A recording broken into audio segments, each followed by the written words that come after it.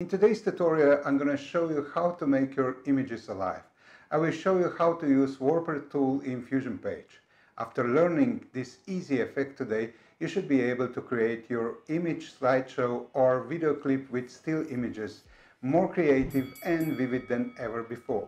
Wanna see? Right, let's see today's intro first and then jump into edit page.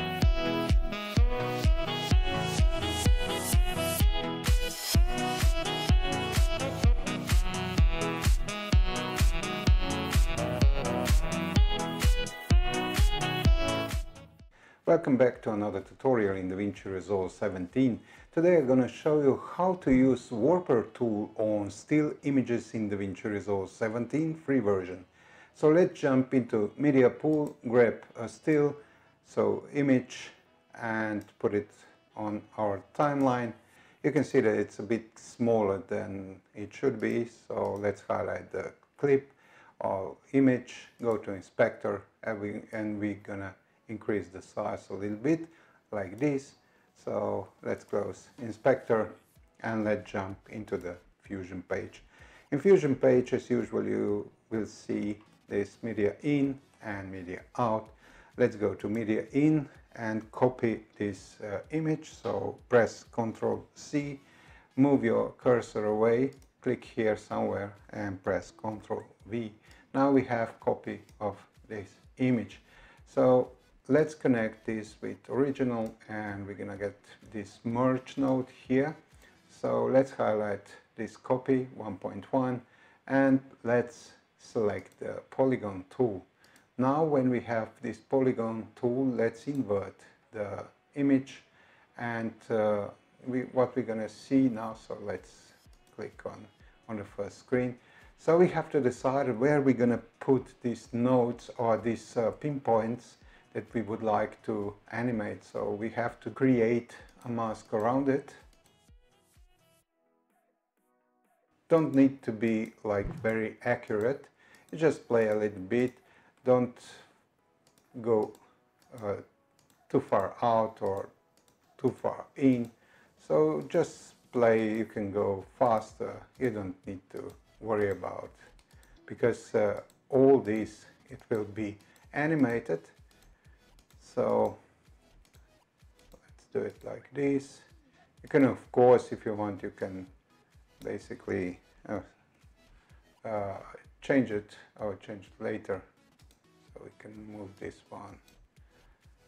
And let's finish it here. And we can change this a little bit.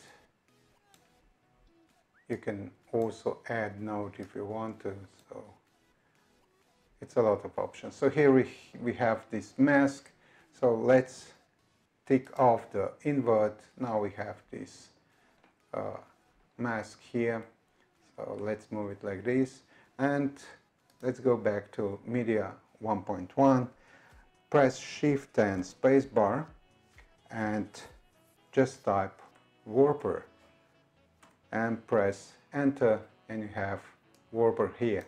So let's go to Warper tool and you can see here that in controls you have these different uh, uh, commands. So let's go to on-screen controls.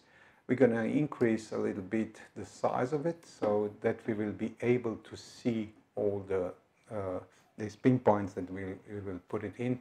So let's start and put in.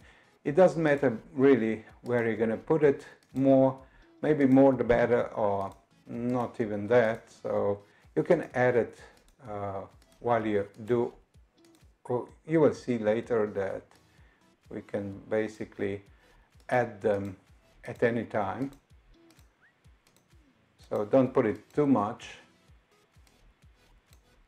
Just put them this like like this something like this. And then just begin to stretch the nodes or these pinpoints just go, go crazy a little bit. So you can play with that. You don't need to worry. So on the right hand side you, you, you see on the right hand side screen you can see this crazy movement that we have. Uh, So my computer gets alive, uh, the fans are working hard, so the computer is working hard as well. So now we have moved all the, the pinpoints that we have. So next thing is let's go and keyframe this uh, image. And we're gonna do it like so let's close first this. And we have just uh, one screen. So let's put the playhead on the beginning to zero. And let's keyframe the warp scale. So once you have done this just pull the warp scale node to zero and uh, let's put the playhead to the end and put it back to zero or you can go even a bit more than zero. So uh, sorry one and uh, that's basically it. We have uh, done the effect. So we can go to edit page and we can wait that uh, computer just check the, the clip. And one more thing we can do, because uh, otherwise we're going to see the edge of the mask. So let's jump back to edit uh, uh, fusion page and let's go to polygon and let's change the soft edge. So a little bit not too much. And you can change also the border width not too much so that's it. So let's jump back to edit page and let's play it through. Uh, we have to wait to this uh, blue line. So that means the computer has done his job. So let's go to full screen and let's observe this effect. That's it for today. If you have any questions regarding this effect, uh, just let me know down in comments. Uh, otherwise, uh, see you next time. Nice and easy as usual. If you find this tutorial helpful, hit that thumbs up. Leave your feedback, suggestion or comments below. And if you are new to this channel, don't forget to subscribe. And don't forget to watch my other tutorials as well. Till next time, have a good one.